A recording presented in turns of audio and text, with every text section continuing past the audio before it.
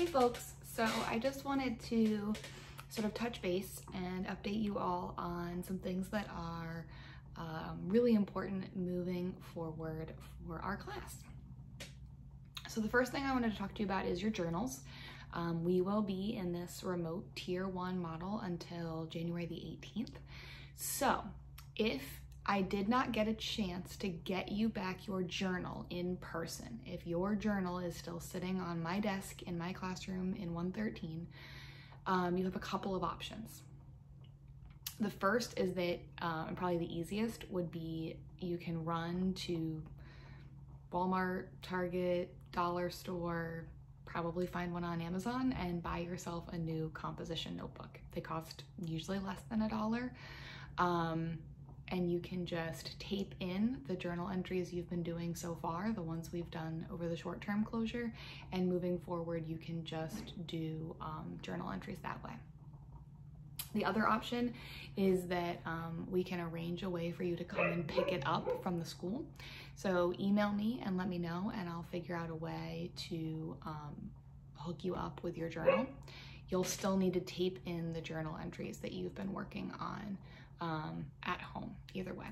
Um, but either way, you do need to have your hard copy of your journal as soon as possible. Um, if you have any concerns or questions about that, let me know.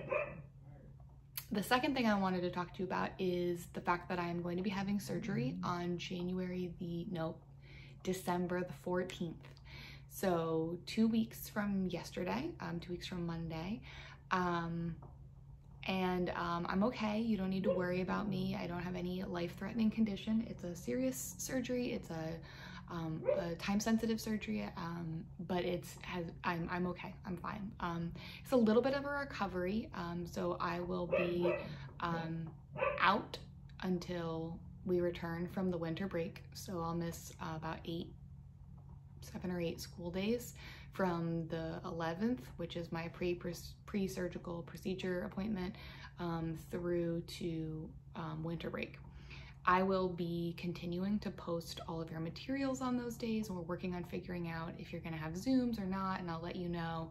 Um, but you will still have work for English um, on all of those days. Um, it will continue to be um, real work, not um, not busy work. It'll be activities that I have created and that I have planned. I'll, I'll have that all uploaded before I have my surgery. Um, but I just wanted to let you know that was coming up so that you were kind of aware. Um, originally, my surgery was scheduled for January, but they did some testing um, and have moved it um, up a little bit, so it's a little earlier, um, a little sooner. So, so that's coming up here in January, or in December, excuse me.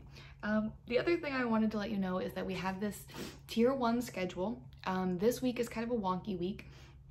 Starting next week, we'll be using the tier one schedule. I will upload that to Schoology, um, but you have um, uh, on there are no more A and B cohorts in tier one. Um, so there's no more um, you only have Zooms or school on Mondays and Tuesdays or Thursdays and Fridays. You have Zoom or school Monday, Tuesday, Thursday, Friday. All of you, whether you were A or B students in tier two.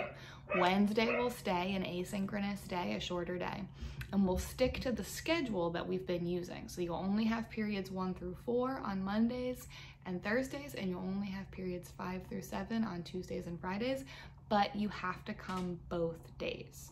So if I have you in period one, you will come um, at the period one designated time on Monday and Thursday, whether you're an A student or not, but you won't have English class on Tuesday or Friday, and I won't assign you any work on Tuesday or Friday. We'll stick with these 70 minute block periods. You'll have less of that asynchronous Schoology work, but I will continue to upload everything on Schoology so that you'll be able to see it. Um, we'll use Schoology for a lot of our assignments and things like that. I am excited to be teaching um, through Zoom. I think there are some really cool strategies that we can use in Zoom and we'll just kind of lean in to whatever's coming. So um, if you're seeing this video, it's because you're a B student we have our last B day on Thursday. If you have any questions or concerns, you're welcome to bring those to me on Thursday. Um, but I just wanted to make sure that you got all of this information as soon as possible. Um, folks, have uh, just a really beautiful day, and I will see you soon.